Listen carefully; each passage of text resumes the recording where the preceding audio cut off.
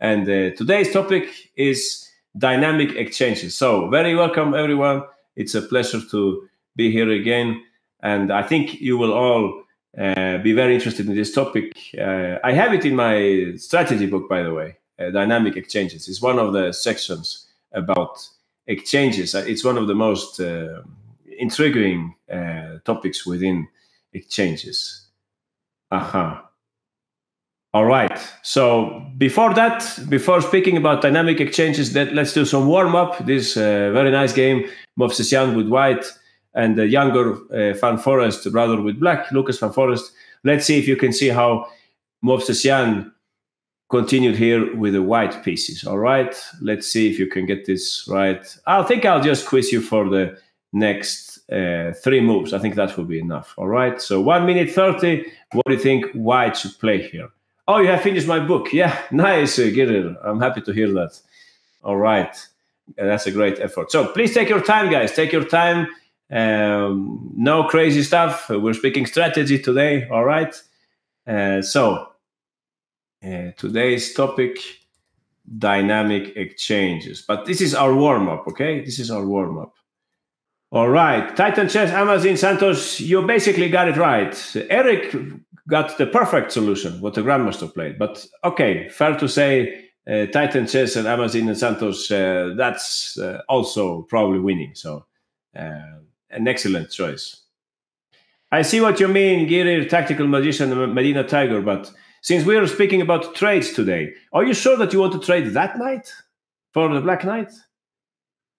Awesome Owen and Chess Samurai, I don't understand this uh, tactical variation, knight takes f7. I don't understand this. Uh, you must see something that uh, that I cannot see. Okay, we'll talk about that. Charles Hua and Hong Pao, you want to swap the. How did you get there? Oh, in the third move. I understand. Yeah, half a point for you. At least uh, you got the first part right. Aha. So, okay, Adi Chess, I, I see the point. So we have only one winner here. Only Eric uh, got this one right.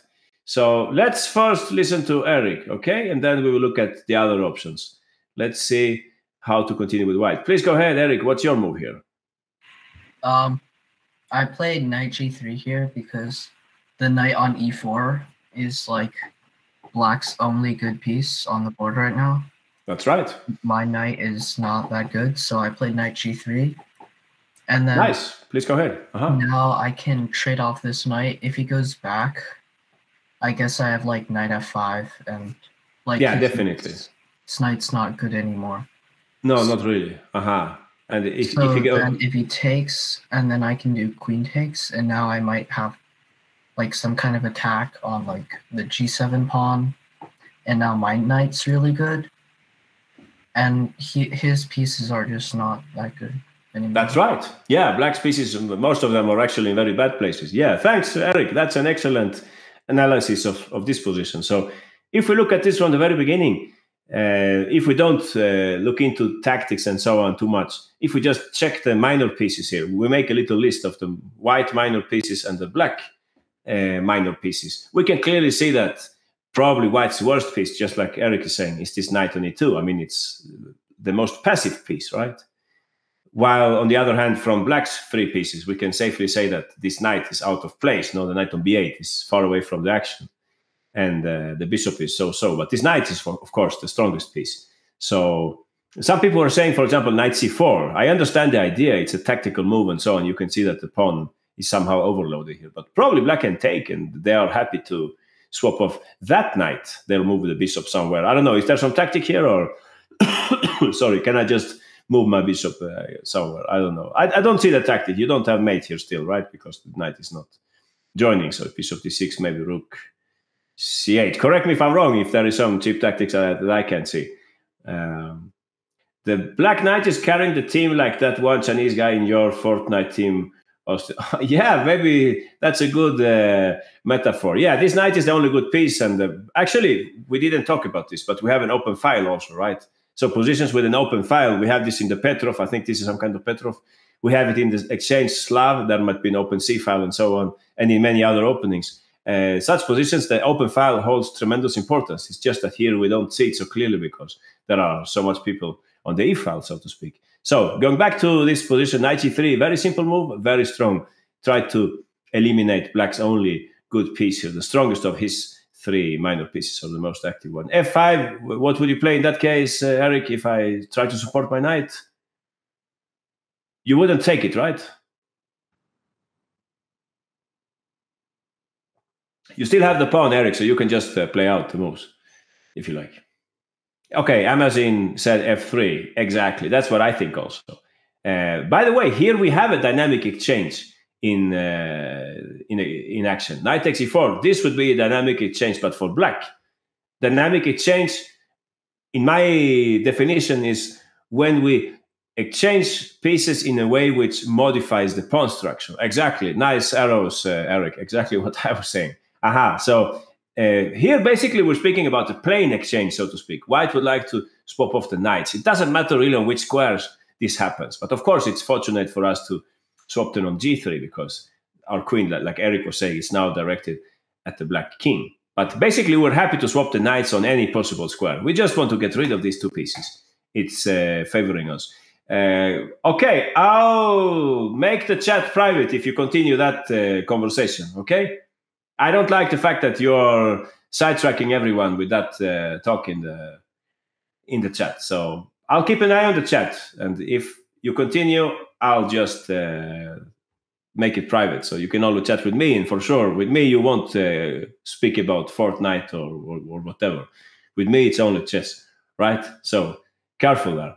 Knight g3 was played in the game. We had uh, several people who got this one right. Knight takes, queen takes d3. We can also see some tactical issue with the knight on b8.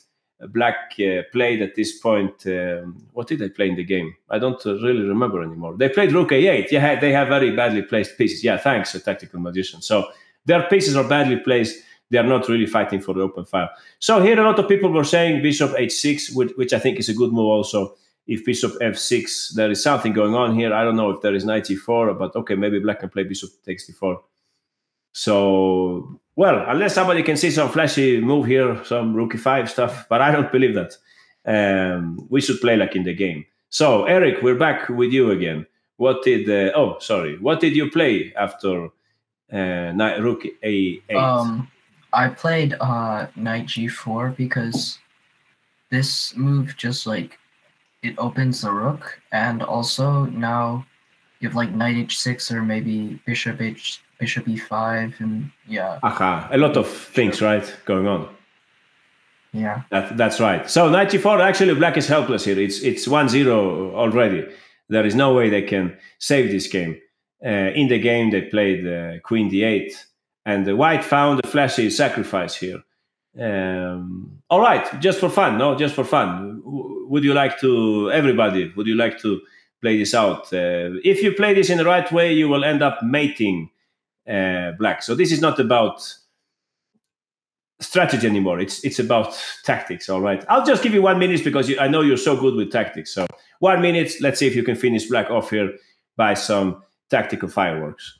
All right. Please get the move order right. Um, oh, I see. HDI chess and tactical magician. You win. What do you win there? You win something? I'll play queen d8 on that, right? Or queen g5 maybe. Well, queen d8 safest. No? So who gets close closest here? Um, oh yeah, you can also play it the other way around. Yeah, right. Charles Santos, Amazon, Titan Chess, Adi Chess, uh, Quacky. You can also play it that way. Just that the Grandmaster played it in the other move order. I can only show you one move order here. I'm sorry. I'm sorry. So Chess Samurai, you got it uh, basically right. Aha. Uh, Hong Pao, nice idea also. Yeah, many ways to win here, probably. Many roads lead to Rome. But uh, okay, let's see if we can do it the way the uh, Armenian Grandmaster did it in the game. So, Minsvengs, you were also very close. But uh, aha, you're right, uh, Titan Chess. You can also play like that uh, if you like. So, Chess Samurai, please go for it. Play it out your way. Okay, so I'm gonna go rook e7 first. Um, knight first probably also works, but okay. Yeah, it's the same thing, right? Uh, it doesn't really matter. Uh huh. That's right. So we can also see here we have so much people attacking, and black has no defenders, only the queen, but that's not enough here. Aha. Please go ahead, uh, Chess Samurai. Let's finish this off. Aha. Like we're saying, today, by the way, Sweden won their soccer game 1 0 against Czech Republic. So it's a great day for my country. And this looks a little like soccer, I would say. We have so many attackers and there are so few defenders. So it's just game over here. Please continue, Chess Samurai. All right, we can win here in many ways, uh, but uh, the nicest one is the one that. Okay, please adjust your variation, Chess Samurai, at this point, if you can. There are many ways to win, but uh, let's do it the most pretty way, all right? Um, You played Bishop e5, which is also winning, of course. Uh, 25? well, if you play that, maybe I can. Well, Maybe F6 yeah. F6 maybe, yeah, everything wins probably, but. Uh, so, Oh, Bishop tactical- 6, Bishop 6, I see, I see. Exactly. Please go ahead. Please, please go ahead. Pretty mating uh, picture, right? So this is the cleanest move. You can also win by bishop e5, of course, but f6 you can go and take my queen and so on. But it's nicer what you played in the game, bishop f6, and uh, yeah, you, we can see here mate is coming up. This is how the game ended. So pretty uh, finish, no? Pretty finish of this game. Um, yeah, as you like, uh. In the game they made it here, but it's also possible to mate there. So Nice. Thanks, uh. Why did I bring up this example? Because I simply wanted to show you a case where a trade of pieces is favorable to us no matter where it's affected on the board. In this case, white is very much favored by swapping off black's strong knight. That's why we play knight g3. I know you had many different moves here. Knight takes f7 was even suggested here, but let's just stick to, to the strategical part, right? Uh, unless somebody would like to discuss this move. I I don't understand it really. Oh, I understand you want to take here, but yeah, we're completely out of track here, right? I can take on f2, and I don't know what's going on. Yeah, that that's that has nothing to do with the position. I don't think perhaps Movsesian he didn't even consider this. No, he was focused on his plan. He saw that, like uh, Eric was saying, black pieces are far away from the king and the king side and so on. So let's attack knight e3. Let's swap off that knight and let's go for an attack. Actually, black is completely helpless here. There is no way they can stop this strong attack. Knight g3, knight d6. Can he do that? Says Titan Chess. Yeah, interesting idea. Knight g3, knight d6. Okay, I have a feeling that something will happen on h5. Correct me if I'm wrong, but this looks uh, dangerous for black. You, you can see the picture here, right? If I go there, the knight will come here. Very strong square, of course. But uh, also, if it goes the other way, I think I would like to play knight h5. I haven't calculated the single variation here, but I can see some ideas like bishop h6, queen g3, and so on. Uh, this must be difficult for black also. So yeah, who knows? Maybe that was a better try after all. Um, 96. Yeah, maybe this was a better try. But uh, to our interest, mainly this situation. We swapped our knights and we benefit from this. It was a great trade for us. All our pieces are now very active and they don't have that strong knight anymore. All right, let me show you a similar example from a game in the in a very popular Caro-Kann variation you will immediately see which variation does this come from. One of the most intriguing variations, I would say, right now, this uh, e takes f6. When I was a kid, nobody would play the Caro-Kann that way. But ever, ever since then, computers like it very much for black. And I think that's why it became so popular. So here we have one example in this game between Savchenko and Oparin. So white at this moment played the move knight f4, all right? White played, yeah, you can see this move h5. That's the new trend. I mean, that's how the variations changed. Thanks to this move h5, black is suddenly doing very well. In the past, they wouldn't play like that. All right, knight f4 was played. I would like to know how would you guys continue here with the black pieces. All right. Um, I will just ask you for three moves. All right. I'll give you one minute 15. Aha. So here we go. Please think first evaluate the position, make that little list, make the little list of the minor pieces of each side, make a list of whites, three minor pieces, which is the strongest one, and so on. Do the same thing with black, please, and I'm pretty sure you will find the right way here for black.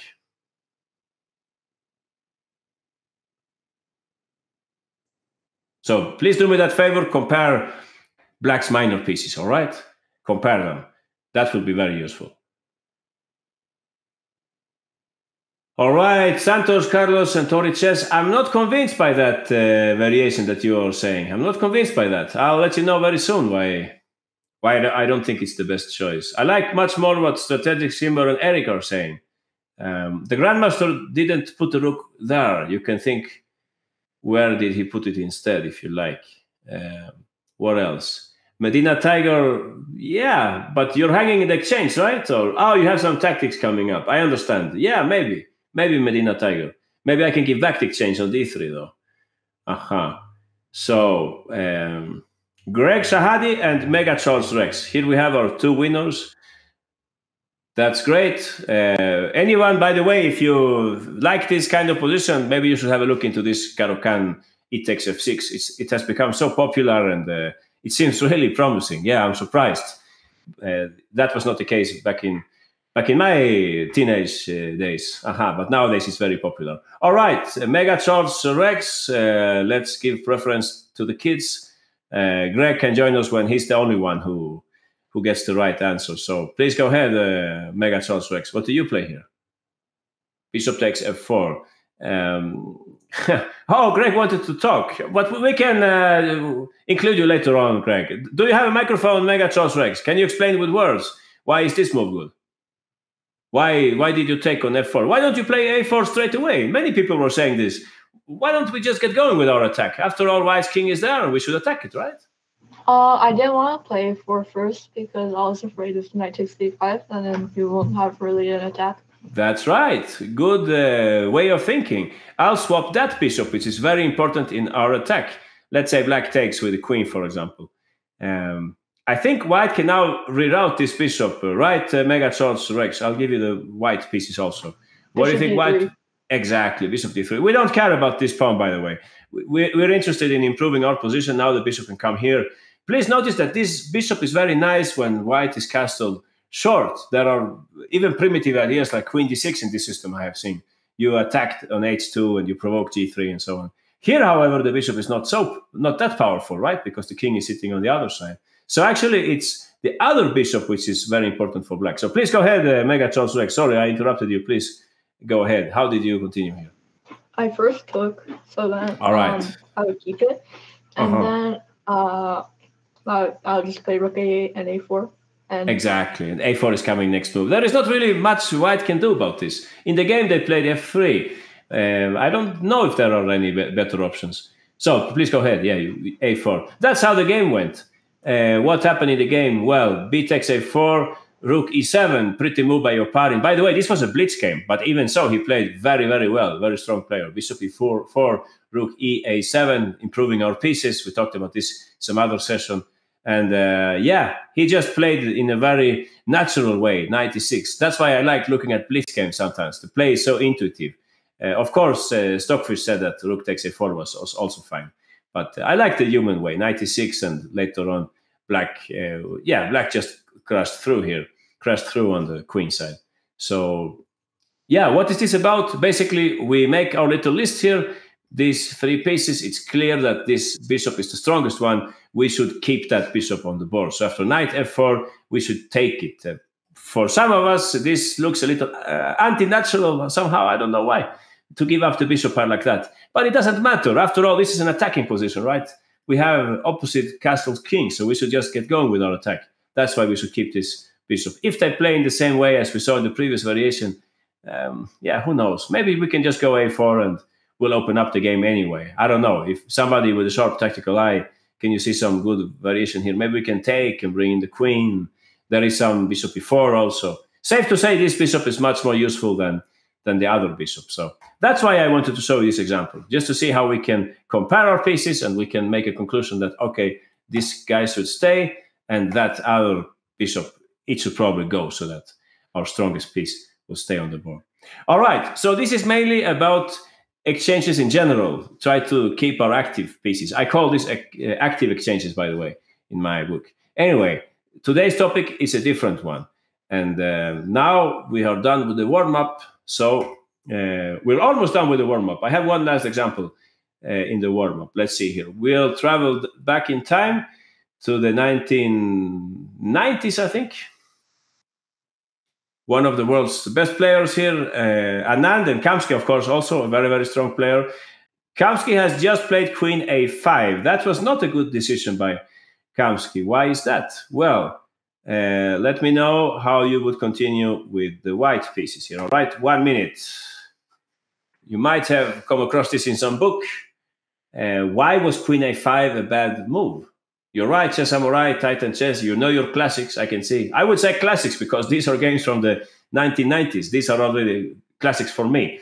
Okay, great work, Hong Pao, Mega Charles Rex, Greg Shahade, Eric, 2008, Medina Tiger. You got it all right. But meanwhile, you're waiting for the rest. Think of the move that you played. Uh, did it matter on which square you carried out this exchange operation? Would you be happy about that trade on any square, or it should be on exactly that square? Think about that. Meanwhile, we're waiting for the rest. All right. Does the square matter where the exchange or the trade is carried out? Think about that, please. I get the point, the Quacky and the strategic simmer, but that's exactly what we're speaking about the square. Yeah, thanks, Chess Samurai. You pasted it to the chat so everybody can see. You're ruining the fun here. Anyway, uh, Medina Tiger, please go ahead. How did uh, you continue here? Black had played queen a5. They're probably preparing to go b5. So what did Medina Tiger play? You don't have a microphone. It doesn't matter. Yeah, just play out the moves. Yeah, no, no worry. Get the microphone for next time. Queen b6. This is what I was saying. It's in itself, it's not a very good trade. It's not that white is dying to swap queens in the open Sicilian. Usually we want to keep the queens, right? We would like to play something like g4, g5. Maybe we would like to play e5. Sometimes we can even go f5 and so on but we rarely look for the exchange of queens. But of course, Anand uh, understood this very quickly that black's next move here is b5. So the square matters, exactly. The square matters a lot. Uh, yeah, we cannot swap it here, by the way. This is not working. I could play b5 if I'm very lazy, but uh, I could also just take this pawn, I guess. And I don't think, I'm not sure we have enough uh, compensation here. Uh, d5 maybe next turn. However, uh, swapping the queens on b6, it will leave black in a very passive position. They're not able to play b5 anymore. Queen takes, uh, bishop takes. 97 is not working, right, uh, Medina Tiger? Uh, again, tactics uh, at the service of strategy. If it wasn't for this move, I guess all of this would have flawed, right? If the bishop goes back, black would play b5, and I think they have just a normal Sicilian battle here. Uh, however, bishop c7 wins a pawn. There's no way they can defend it. So in the game, Kamsky played 98, and Anand played in very uh, impressive fashion. He played e5, I, I, I think, to further uh, complicate Black's development. And uh, yeah, I think it was something like d5, f5, or, or he played bishop g4 first. There were some subtleties here. Maybe it was this move first, yeah, or, or something like that. Anyway, so that's what happened in this uh, in this game. A brilliant move, queen b6 by the way, please notice if you play something like e5, black can take and they can put the knight on d7, and they're actually okay in this position. The pawn is a little weak. There is some idea like bishop c5 also. If you play g4, just like in any good Sicilian, black has no reason to play in the defensive way. They can just go for counterattack, right? Something like this looks nice for black. So in general, are queen swaps good for white? I don't think so, Titan chess. In my opinion, queen trades are good for black in the Sicilian, in the open Sicilian. But okay, it depends which Sicilian. If you have a pawn on c4, then you have a Maroczy bind. Then suddenly I think the queen trades are excellent for white. But not in this structure. I don't think it's a good idea to trade. When do you see a trade? In the Taimanov Sicilian, right? Titan chess. You can see this queen g3 trade. But then we're speaking a dynamic trade because queen takes, they take with the h pawn and they open up the h file. So that's what dynamic uh, trades are about. So this is, in my opinion, it's not a dynamic trade really. You're not modifying the pawn structure. However, uh, it matters that you do it on b6 so that you restrict black's uh, movements. So yeah, that's the last example about trades. However, in this case, the trade itself was not really useful. What was useful for us was to trade the queens on uh, b6, right? That was the important thing here, not to let them play b5. So it's more about restriction than about trades, really. But okay, I wanted to show you that example we are ready now. We're ready to look into our topic of today. This is enough about trades in general. Now we will speak about dynamic exchanges. All right. So this is a wide area. We have a lot of examples. Uh, we'll do some parts today, and the next time we will have a look at the rest. So back to the good old days. Anand Gelfand. I was a teenager when this game uh, came around. A very famous game back in those days. Anand played very, very well, and he was able to win this game in very pretty fashion. So, all right, you're playing with the white pieces here. I'll only give you one minute for this. All right, how would you continue with white here? Uh, Santos, I think you're. Oh, I understand. You're trying to trap my queen. Aha. Uh-huh.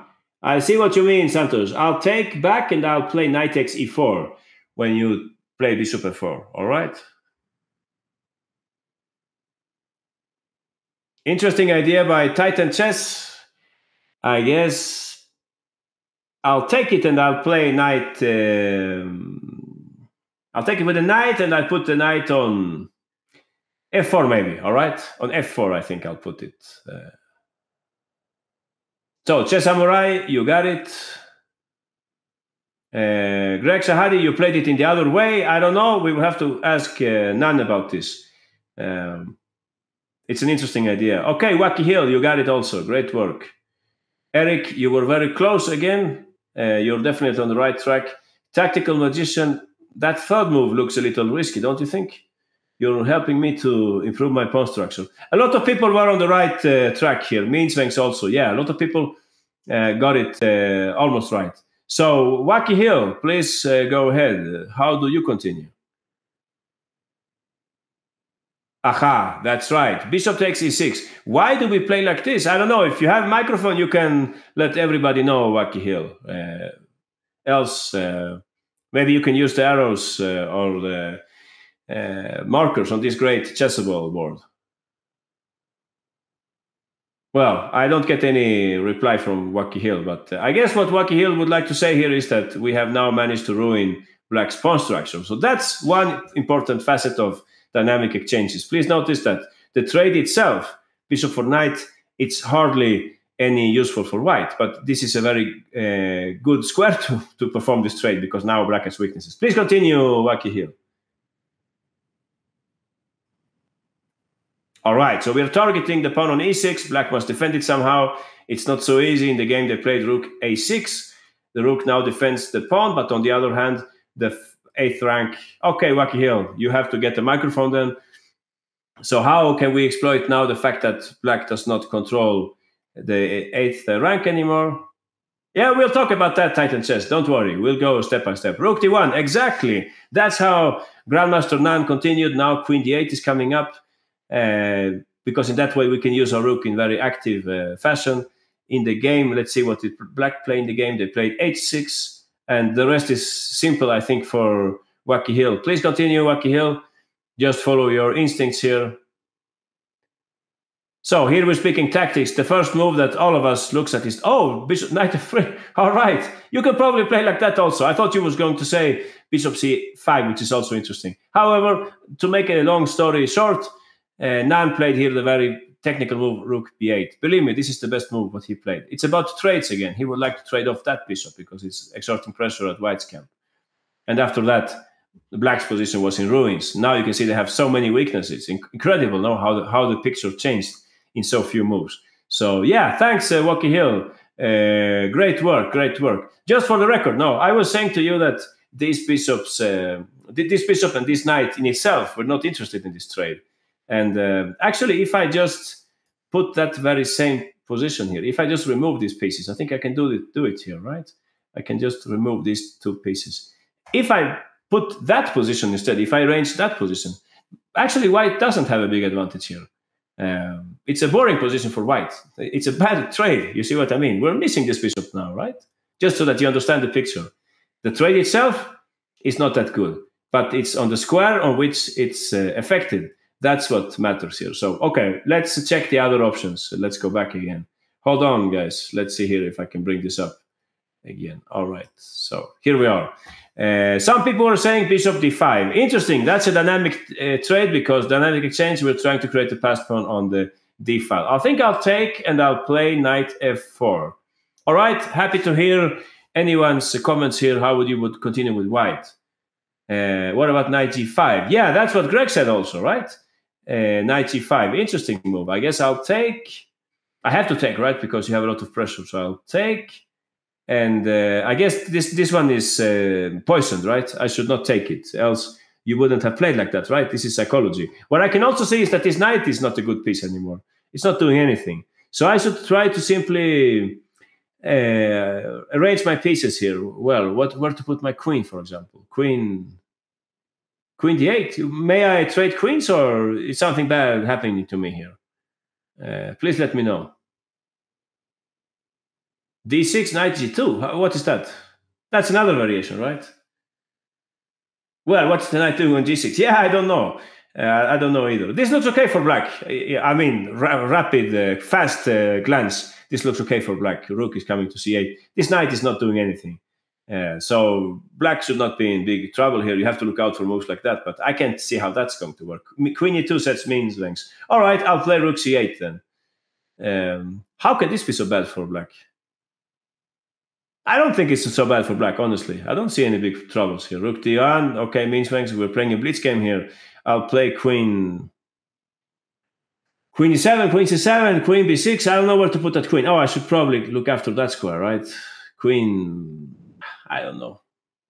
Queen e8, maybe targeting that pawn also. Does that make sense? If you play bishop e5, maybe your bishop is not so active anymore. Queen takes d8 wins. When when does queen takes d8 win? Here? Really? How how can you make that win? I don't follow. Bishop takes f6, says Wacky Hill. Oh, you're going to take the. I understand. Nice tactics. I can see you're very awake. Nice. All right, I get the point. But never say never, no? Don't forget you have a lousy knight on g3. Now it's my turn. Let's see. Should I give the check first or should I play rook d2? Anyway, should we give check or should we put the rook instantly on d2? Rook d1 first? All right, if you say so. I, I, I don't know. I have mixed feelings because the knight is so bad, but I guess it makes sense to tie it, no? Uh, and then rook b1. This cannot be clear, right? Black is very active here. Rook b5. Wacky Hill is now defending white side. Okay. If I play materialistic move bishop d8, protecting the pawn, what happens? Greedy. Yeah, exactly, Greg. I think that's the way to play here. They say in the endgame pawns are more important. Uh, they are more valuable. So we should probably protect those pawns. Yeah, greedy but good. Yeah, I don't like this for uh, for white. Looks very passive. I think none wouldn't have agreed on playing this position.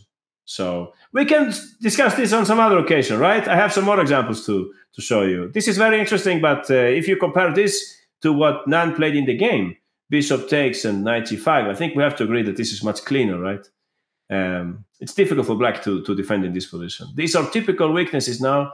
That's because we affected this very nice dynamic trade on e6. Um, after all, this is something that you learn when you're beginners, right? Maybe you play some Italian game where you put the bishop on g4, then you play knight e4, some, you know, beginner's game. Knight takes f3, g takes f3, bishop h3, and you mated them with g, queen g5, queen g2. Actually, it's about the same topic. You damage their pawn structure. This is very important part of, of uh, trades in general, I would say. Can we check bishop d5 deeper, says Titan says. Really? What's. Uh... Oh, no, sorry, it was not like that. I'll take with a knight. I'll play knight f4.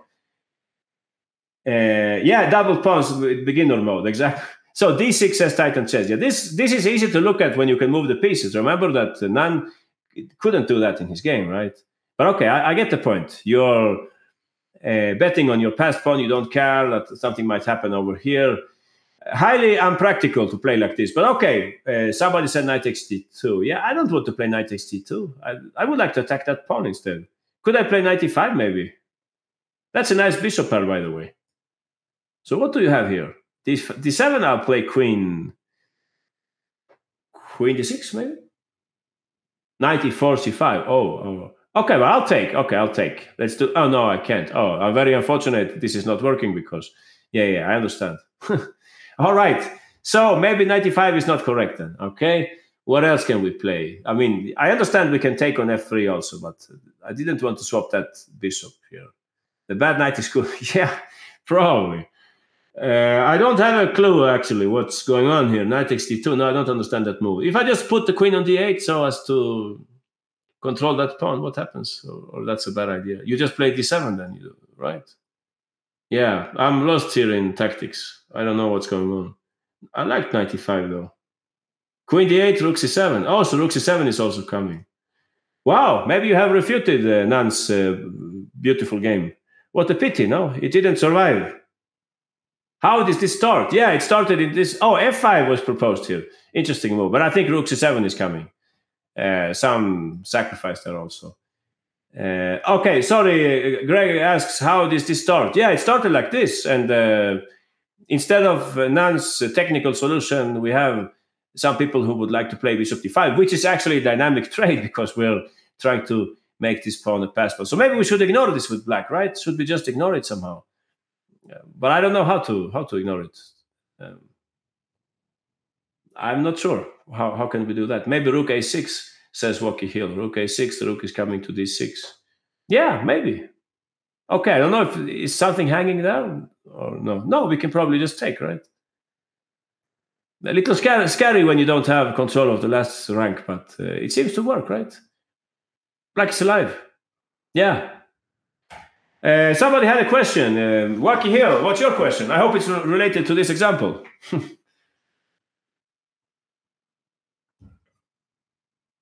okay, we don't have any uh, information from Wacky Hill. Tactical Magician, Bishop d5, Knight takes d5. We're back at this again. Didn't we conclude that Black was in trouble? Bishop takes f3. All right. They'll just take, I guess. Now I think uh, it's getting worse. No? Queen b7. But they'll trade, speaking trades again, right? They'll trade this guy. It's not uh, useful for to take back, and I can play something like 94. I think this looks ugly for black. Yeah, this is not what we want. Fantastic pass pawn. So actually, I'm happy that you suggested this, uh, whoever it was, bishop d5. It's, a, it's actually a very interesting move also to, to create the pass pawn on the d file. So another example of dynamic uh, exchanges. I was going to talk about this later. Uh, right now, I was focusing on how we can destroy our opponent's uh, pawn structure. So rook a6 was Wacky Hill's last call in this interesting position. All right, let's see something more recent. Uh, let's see something more recent from another kind of wait at the starting position. Can you take on e6 then on e5? Yeah, somebody said this, but I'm sorry. I'm sorry, guys. I think this doesn't work. I understand the idea. You want to play bishop f4 here. That's the idea. But I think I can ignore the knight and I can take on e4, right? I think this is what black would play. No, but this is not the. Is this the position really? Yeah, it's like this, right? Knight takes e4, and black can take back on. How would they take back here? Take on e5, maybe, right? Something like this. Knight c5, rook d6, maybe. Um, no, play queen takes e5, bishop f4, then play knight takes e4. Really? Eric says queen takes e5, bishop f4, knight takes e4. But then I have queen d8, Eric. I'm afraid you're losing your queen here. So yeah, you can't play like that. Uh, interesting idea. Yeah, interesting idea. Knight takes. How was it? Bishop takes and knight takes. But again, please notice it's easier for us because we move the pieces. Tactical magician is raising uh, their hand. Uh, what happened, the tactical magician? You want to say something? That was from before. Okay. Yeah, I don't follow here uh, really. I think black is okay um, somehow. Yeah, the rook is on ace a8, right? What happened? This was very confusing. I think something we made a mistake. Yeah, this is the variation exactly. So you can just take on e4. Exactly. That's I think what I told you. Anyone? Yeah, something happened. Some re- residual problem on the on the board. Yeah, and black is perfectly fine, of course. So yeah, th- that doesn't work, right? Okay, guys, uh, main takeaway here. please, uh, once we start looking at variations, we never stop, it seems. But please uh, see the bottom line here. Fix those weaknesses. And by the way, very, very pretty move, Rook D1, trading queens and bring the game into the technical phase where these weaknesses, for sure, they will be more heavy, heavily felt once we're in the endgame. Is there an engine on here? I don't know. I try to avoid the engines when we're here uh, at the USCS because I think we learn more at Chess Dojo also. We learn more if we turn off the engine. When you turn on the engine, usually you turn off your brain also. So I prefer to keep it in this way. All right. But if anyone is very, very curious, maybe you can plug in your engine. But uh, yeah, I would uh, avoid that if, if possible. All right, let's uh, move on. Let's see an example from another uh, generation and another pawn structure. So this game was played in the United States. With white, we have Nyzhnyk, and playing black, Alonso Zapata. Here it's white to play. I don't think the first move is very difficult for you guys, but I'll ask you for the rest. Okay? You have one minute. Yeah, engine can can tell us very quickly, but do we learn from that Titan chess? It will tell us, but what did we learn? Uh, copy and paste from the engine, maybe. All right. How to continue with white here? Titan chess, you got it. That's exactly what the Ukrainian grandmaster played. Remember today's topic: dynamic trades. All right, then dynamic exchanges. Giri, you got it. Also, great work. I get the point, uh, Eric, uh, Amazon, and Santos. I think I'll play knight. Where do I put my knight there? Knight f6, maybe, Eric. Knight f6. You have a problem piece there, right? Okay, we'll come to that. We'll come to that. Okay, Titan Chess, Girir, and Wacky Hill, you got it. That's right.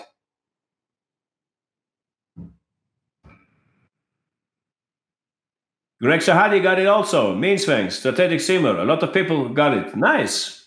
You know your strategy. Excellent. So, Girir, you were one of the fastest ones. Please go ahead.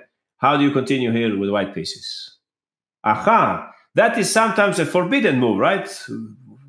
Going back to beginner's chess, we are taught that if you have a fianchetto bishop, you shouldn't swap it. But of course, here it's different. There are not queens on the board anymore. We're already in the end game almost. So here it's actually a very good trade because in this way we fix the pawn structure. Aha, no queen, so no danger, says Titan Chess. Please go ahead, get it. It's your move, next move. So that's the, the whole point, right? Just to make this clear to everyone, this square was not protected. Now, if we play knight c5, they could play something like knight e4 and perhaps b6 later on, right? But since we take first on c6, um, in this case, we are creating a weak pawn, but more importantly, we're creating a very nice square for our knight. So that's how the game went. Black played knight f6. Now the knight is in the air, so there is only one way we can protect it. Before we continue with the game, it's very impressive, this game. It's very nice, uh, this game. But uh, before we continue, let's have a look at what other people were saying.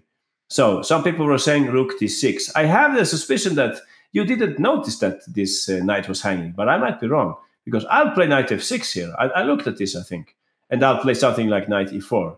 I doubt that you would like to take the pawn. Um, or would you take the pawn?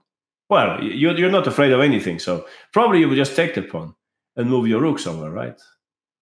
Aha, so rook c7. Maybe this way you're okay here with white. I don't know. I, I understand that uh, Nyzhnyk didn't want to venture on this. Maybe it's okay for white to play like this. Um, knight c3, take on a4. Yeah, that's only one option, no? Because also this knight is far away from the action. Maybe you can play like that. You're right, Titan chess. Yeah, we can give this check. We can take on a4. We can maybe play rook c8.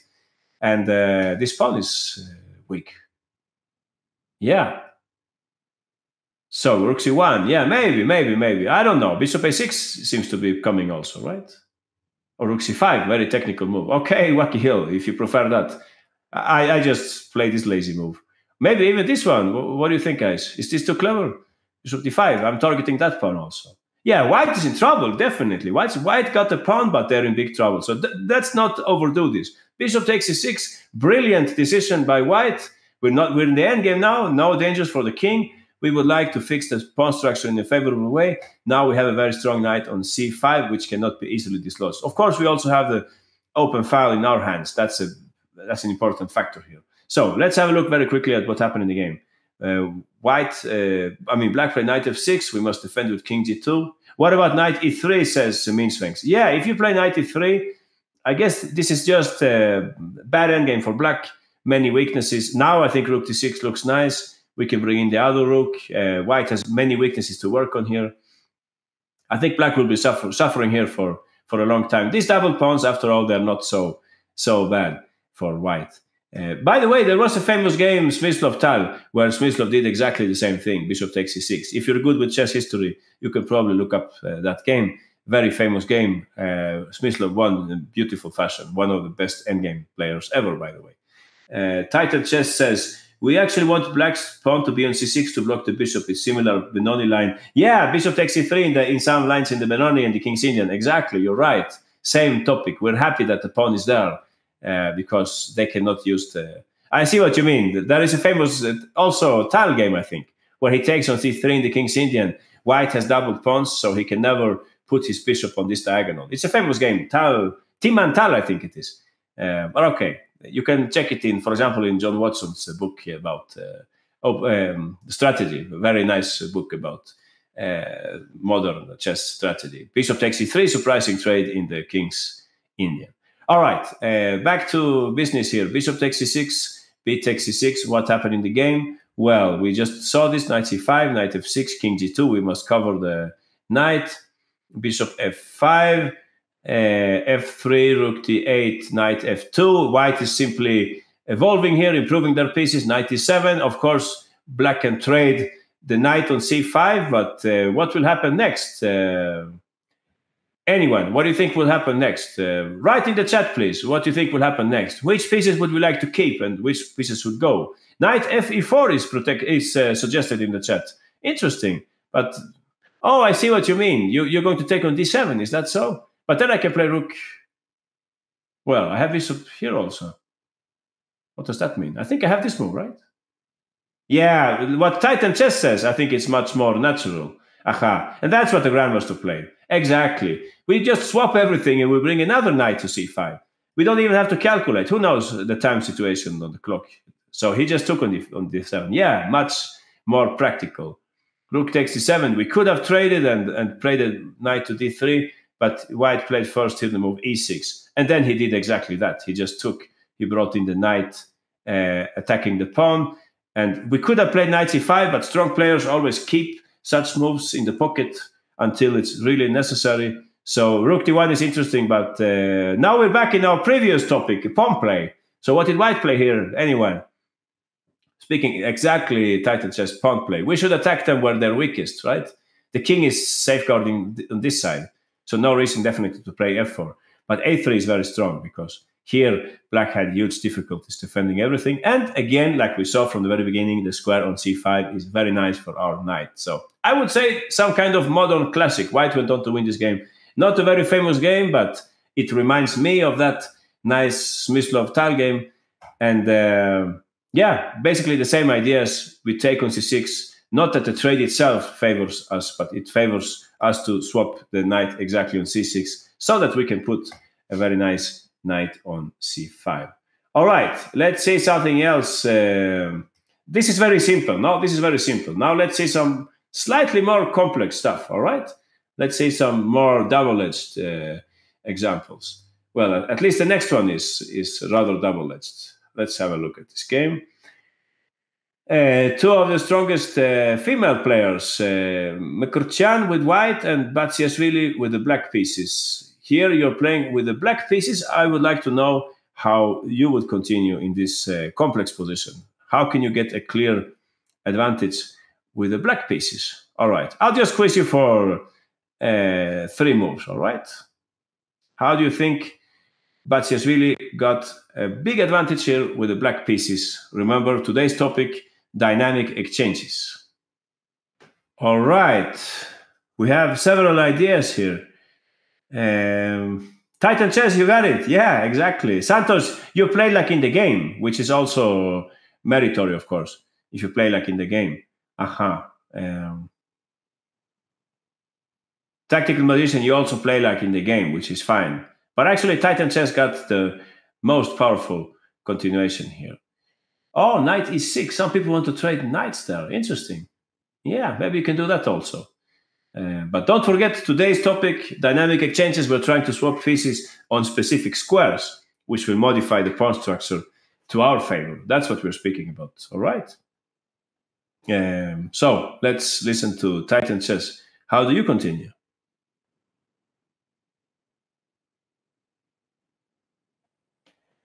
Aha, we have a comment here by Titan. It's a bad sign when one has moved all his pawns up then he is overextended and probably your position will get dismembered.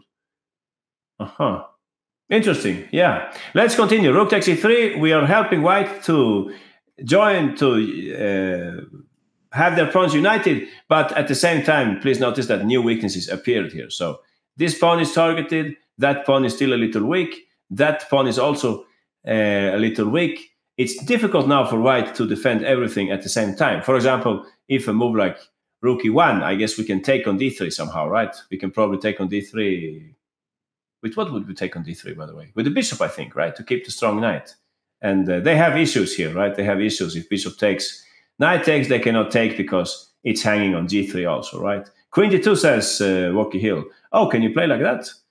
Uh, maybe, but I think you will still have an issue with this pawn, right? If I play something like, oh, 94. Okay, okay. Good move. Yeah, probably 94.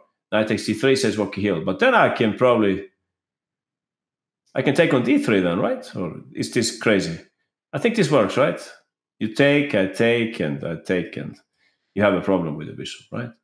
So, yeah, uh, rook takes e3 was played in the game. Pawn takes. It's it looks kind of uh, counterintuitive, right? Because you're saying, okay, we have a stronghold on d4. Uh, when we take, they don't have this problem anymore. But actually, it's a good trade. It's a good trade, mainly because also h5 and h4 were, were included. So they're they're having more weaknesses. If you just play something like queen d4, I can play rook e1, and I'm defending here. I can take with the rook, or perhaps even with the pawn now that the queen is attacked. But this is much stronger because they have so many weaknesses to to think about, right? Uh, so let's continue. Yeah, White played in the game for this reason. They played Queen E1. So what was your move here, Titan Chess? Who was? Yeah, Titan Chess. What did you play here? Exactly. We're speaking about weaknesses, right? So many weak pawns. Now I understand your comment. Uh, uh, who who said this with overextended? Yeah, all the pawns have moved, so there are so many things to look after. I remember this from my um, hedgehog games. This sometimes happens so when there are a few pieces left. It's difficult to keep track of all these weaknesses. So at this point, queen b2, the pawn is attacked, and uh, I think in the game, Batsiashvili didn't play like this because she didn't like the move queen before. But actually, black is winning here. I think I'll quiz you on this one, okay? I'll quiz everyone, everybody on this. It's actually also about a dynamic uh, trade, but okay. Uh, apart from that, it's uh, more about tactics, of course. So let's see if you can make uh, your conclusions here. So black to play and win.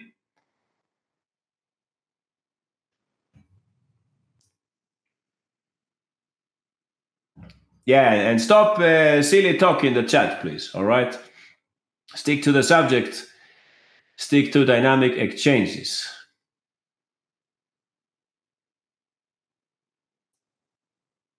Don't play that, uh, awesome Owen. I think you're hanging your queen, right? Titan chess, you got it. Great work.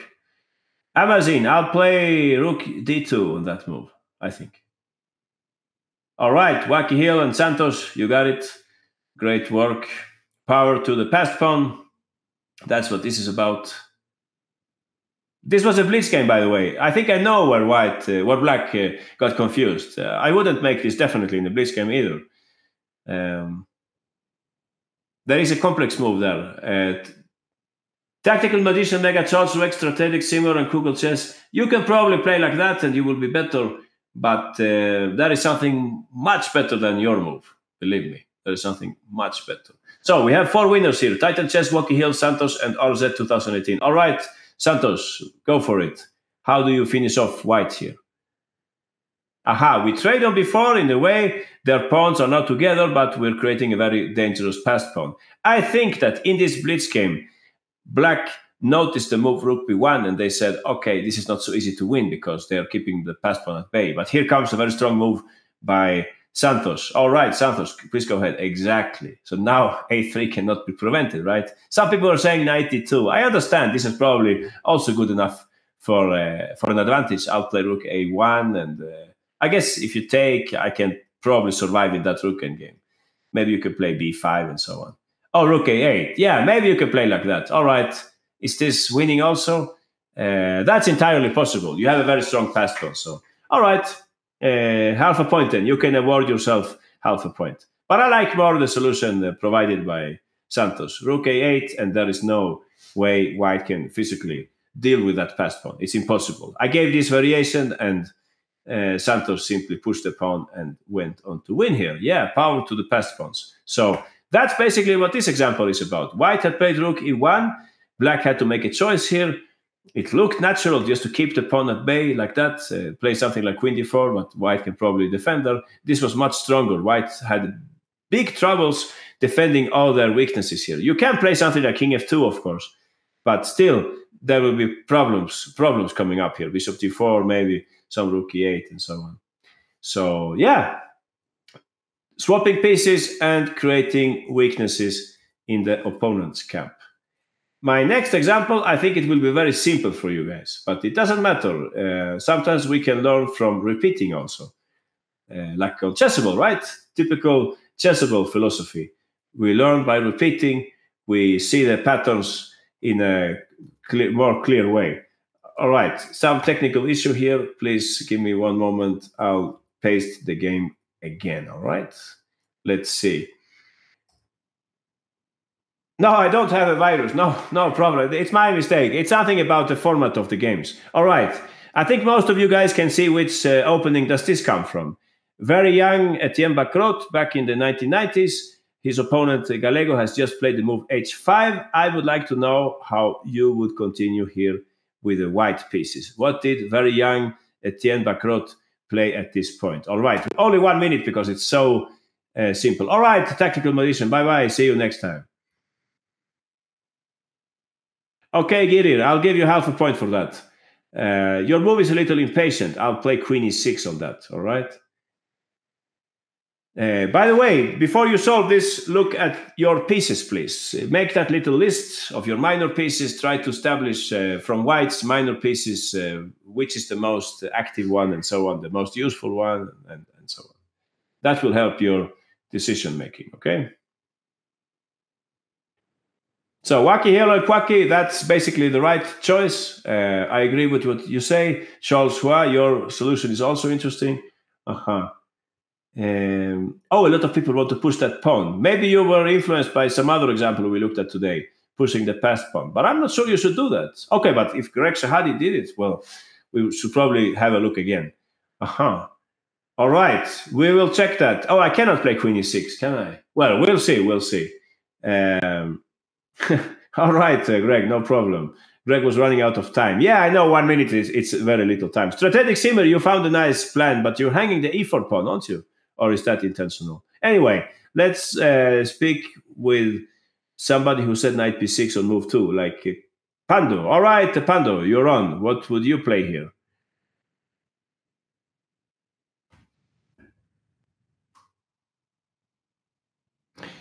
Yeah, bishop takes e5, exactly. So please notice carefully here. When we trade on e5, we improve our pawn structure. It's not only about us, it's also about them. When they take on e5, it's horrible news for the bishop on g7 and also for the rook and the queen on the e file. So in itself, the trade is very good on e5, but apart from that, perhaps the trade is not that great for for white. Uh, usually, you don't. If you play just some random move and you let black trade, it's not that good for white. I mean, usually in the Benoni, black is happy to trade a few pieces. However, trading on e5 is excellent for us because their pawn structure is uh, ruined and we get the passed pawn. However, should, should we trade with the bishop or with the knight? Well, if we take with the knight, we can of course do that. But we could argue also that the knight on c4 is much more powerful than the bishop on h2.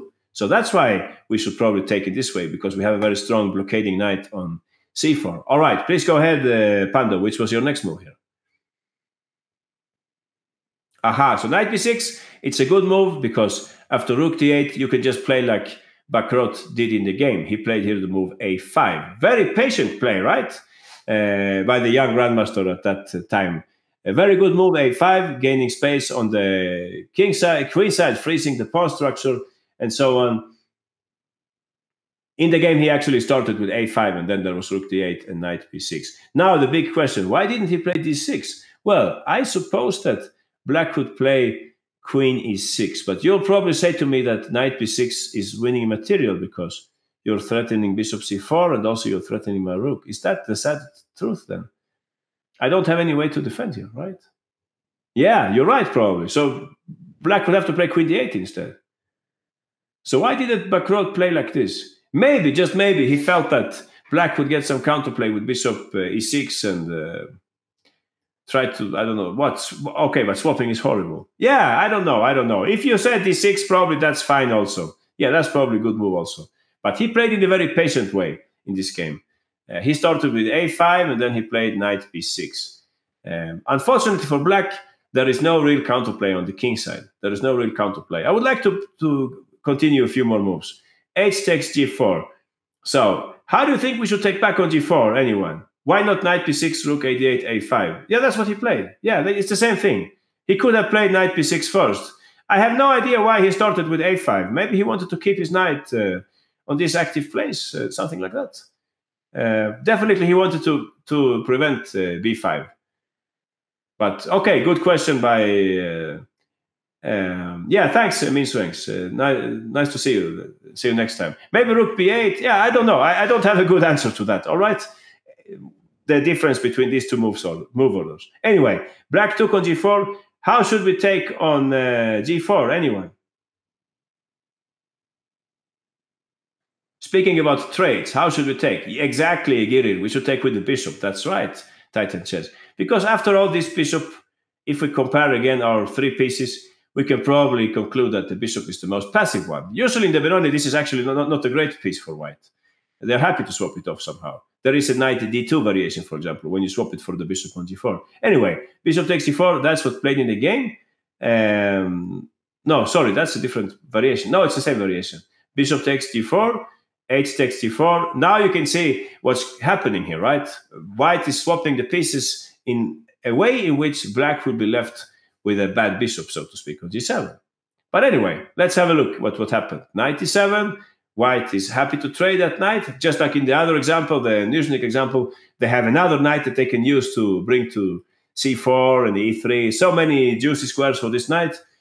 Queen takes d7 and queen f3. All right. So this is how the game went. But now, please remember what we saw from the very beginning. White played bishop takes e5, right? I made a little experiment about this position. So I'll show you what my experiment is about. I used this position but I made one little adjustment here. All right. I'll show you. You see what happened? I just put the e pawn back on d6. So what do you think about this position now? Let's say we hadn't traded on e5. Aha, it's about equal. That's right, Wacky Hill. Black has no big problems here. I think, Wacky Hill, you can even uh, suggest a move for black here, right? One move for black to consider here. What might that be? Yeah, black bishop open diagonal. Exactly, Girir. We could play something like bishop e5. You see the difference, right? This is a different story. I'm not claiming that black is better, but for sure they can defend here. This is a very nice bishop. Maybe they can go king g7, rook h8. I'm not sure that the bishop is worse than the knight. I don't think so. It looks powerful in the center. So once you see this, you understand that it wasn't so much about trading this or that piece. It was about trading it on a specific square. In this case, Bacrot was very happy to swap. Uh, can I bring back the game? Let's see. Um, he was very happy to swap the bishop on. Yeah, here it is on e5, right? So that black's pawn structure is deteriorated, right? So that's what happened in the game. Very quickly, what happened in this game? They played a5 first, but knight b6 was also fine. We concluded. Rook d8, knight b6, pawn takes. We had a very important moment here. Take with the bishop, please. Get rid of that bad bishop or not so great bishop. Takes, takes, 97, knight takes. We're very happy that this pawn is on e5. Queen f3 was played. And it's funny that you and me, we were expecting white to finish off the game on the queen side, right? Okay, he played knight a4. But suddenly Bacrot notices that actually he can decide the game on the king side. All right? So having said that, uh, anyone, what do you think white played here? They could have played automatic move knight b6 and knight c4, but they didn't aha, they went for an attack, king g2. Interesting, no? We're speaking so much about strategy, and suddenly white will win this game by means of an outright attack. Yeah, chess is chess works in mysterious ways, right? Black is doomed. Rook h1 coming, b5, desperation here. And you could have taken on b6, but uh, Bacrot found a pretty combination. I have to quiz you on this one, right? I must quiz you on this one. Let's see who, who has the most brilliant tactical eye here. If you can find the whole variation. All right.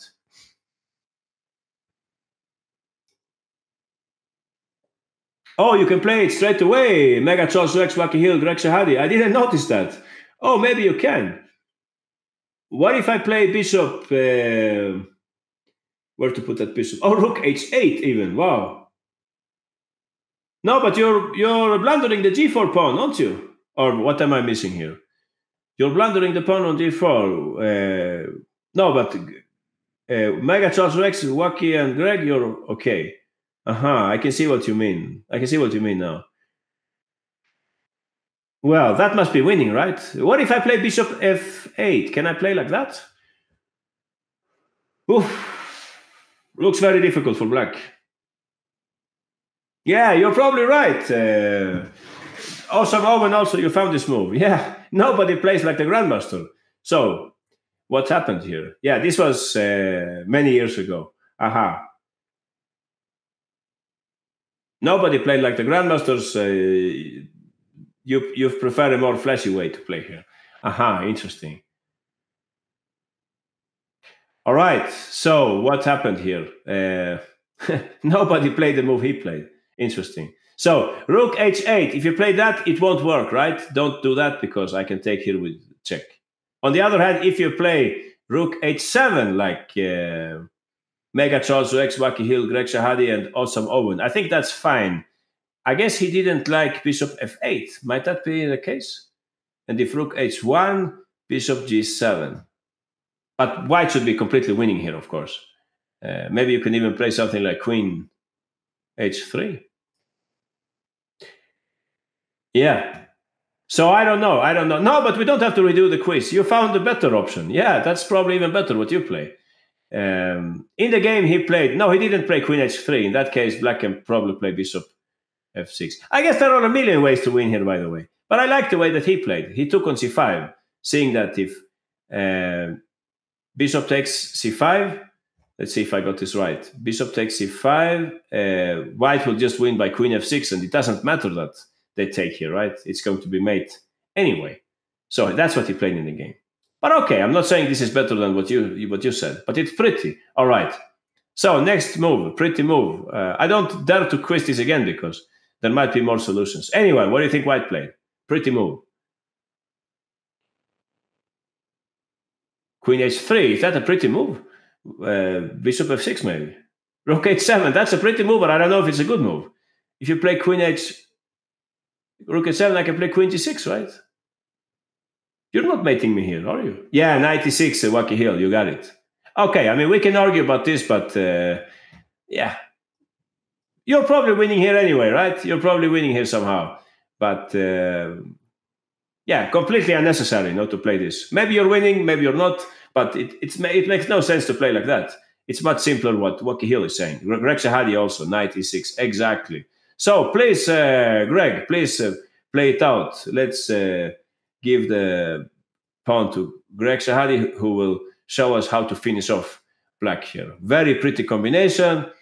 Piece of cake for Greg, of course, but for all the rest of us, it's interesting to see how white wins this game. Nice, right? Nice. You must be familiar with this topic from the Sicilian Dragon, for example. You can find that topic, that image. I think it's very pretty. That's how the game uh, ended. Aha. So back to what we looked at here, you can also see how strategy and tactics they can be sometimes kind of intertwined. Uh, black played h5, and white hurried to take on e5, but with the bishop because they knew that this knight was very strong. Typical topic in the Benoni, right? And after that, it was difficult for black to even move in this position. Please notice this pretty idea by Bacrot to take with the bishop, get rid of the passive bishop. And as we can see here, the pawn structure is very much in their favor. But they didn't play d6, right? They didn't play this move d6, which we were waiting for. Um, all right, maybe we can do one last example, okay? Let's look at a completely different pawn structure. Uh, completely different kind of, uh, of pawn structure I think this would be our last example for today. Oh, Amazon is raising his hand. Would you like to comment on anything, Amazon? Um, we're all ears. Please go ahead.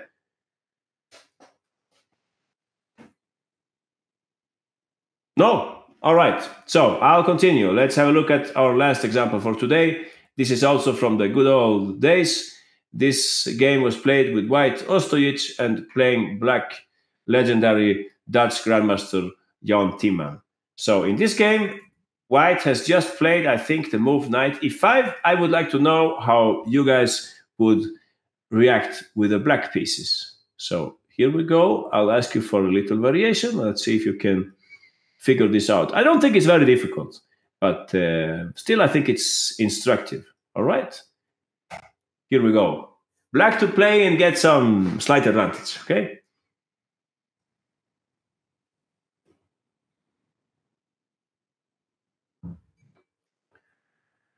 Interesting idea, Titan Chess. Maybe I can take and play knight f3, right? Um, I get the point, to Giri and Hank, but maybe I can ruin your pawn structure a little now, don't you think? Uh, Santos and Kugel chess. Are you sure you should put the pawn there? I think it will be in danger that pawn after knight f3 or maybe rook d1. Okay, we can talk about that. All right. So who is closest here? Strategic Simmer, you were definitely closest on this one. Aha. Uh-huh. You got it right. Um, maybe your last move is okay also. Timman didn't play that way, but uh, looks uh, nice to me. Tori Chess, you got the whole variation. Congratulations. Great work. In the footsteps of Jan Timman, who was, uh, I think, number three in the world at his best moments after Kasparov and Karpov back in the 1980s. Yeah, very, very strong player. I was happy to play against him a few times. I learned a lot from those games. Uh, when I go to Serbia and playing in a GM mix, do you have any recommendation on how to get norms? Well, my only recommendation is to prepare for your games, uh, play well, and uh, yeah, uh, rest a lot, right? And and stay in physical shape. That would be my main recommendations. Uh-huh. But just play and have fun, and sooner or later, uh, your level will increase, and you will get those norms. So don't. Uh, I can remember myself back in those uh, norm hunting days don't get too obsessed with i have to make one point out of two and so on just play and sooner or later the norms will come don't uh, don't worry all right titan chess says uh, i wanted to trade a bishop for one of black's knight because if the pawn is on e5 dominates the bishop on e7 yeah sounds interesting um, all right let's listen to tori chess because tori chess got everything right so please go ahead tori chess Knight takes e5. It's very important to play this before white plays knight takes e6. Some people are saying d takes e4. Maybe you were preparing to take next turn, but then I can take on c4, on c6, sorry. And actually here I would take with a knight, I think. We will have some kind of situation with mutual weaknesses. I'm not sure that black has, has much here, really. Uh, this knight is uh, rather active, and if you take, I think I'll take with the queen, and I'll just pile up my pieces on the c file. This should be at least equal for white. So Toriches has a much stronger idea. Take immediately on e5. Now, if I take with the queen Toriches, this is not really good for me, right? What would you play, for example? Typical hanging pawns situation. This time, if I take with the knight, it's different, right? Toriches would have no reason to take. Well, I mean, it's possible, certainly, but it's also possible just to put the knight on, on d5, I guess. And this would be a very nice isolated queen's pawn position. Horrible bishop on b2. So let's say I take with a uh, pawn instead of the Tori chess. So how would you continue? For example, what about these pawns, uh, chess? Yeah, exactly. Rook c8, starting to uh, attack those pawns. Yeah, your moves are not very difficult. Just uh, play by intuition. Exactly. Bishop f6 targeting the pawn. And uh, I guess you will bring in the other pieces also and you will have a slight advantage though. Uh, exactly, queen e7. I think I would put the queen on d7 though, because I would like to put the rook on d8 and attack this pawn. They cannot move this knight because the pawn is hanging. But okay, queen e7 should also be okay. I guess you're about to play queen b4 or something like that. What about knight a4, says Wacky Hill? Yeah, I think you're right, uh, Wacky Hill. Knight a4 is also interesting to, to, to attack this uh, bishop. You're right. That's perhaps even stronger because if the bishop moves, there might be bishop uh, maybe I can play like this, Wacky Hill, don't you think? Yeah, bye, Girir. Uh, nice to see you. See you next time. So maybe like that, right? And I can.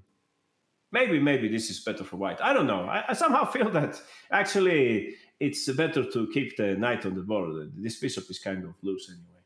Anyway, so uh, yeah, Torre Chess is explaining here that black should take on e5 quickly. Uh, in the game they took with the pawn instead. Please continue, Torre Chess. How does this continue? Pawn takes e4. And here we can see taking with the pawn is horrible. In the game they took with the knight. And uh, after that, White's main problem here, yeah, again, this would be just horrible for White to have so many weaknesses. Queen takes e4. Uh, black simply played the rook c8, bringing the rook to the action. Queen d2 was proposed by somebody uh, who said that. Strategic Simmer said Queen d2. Looks very nice, also Queen d2. I don't know what black, what black would, White would play here. Maybe they can play Bishop c1 and reroute the bishop. I think that's maybe what White should play, right? Reroute the bishop because the bishop is very passive on b2. So Rook c8 was very nice move by Torre Chess. White played Queen e4, and your last move here, Torre Chess, Queen b6. Exactly. So what we can see here is that maybe you will say that okay what did black gain from this? The pawn structure is not so much in their favor. But look carefully. You can see that with these bishops on the board definitely this structure is nice for black. You can come across this structure in different openings like the sicilian alapin and so on.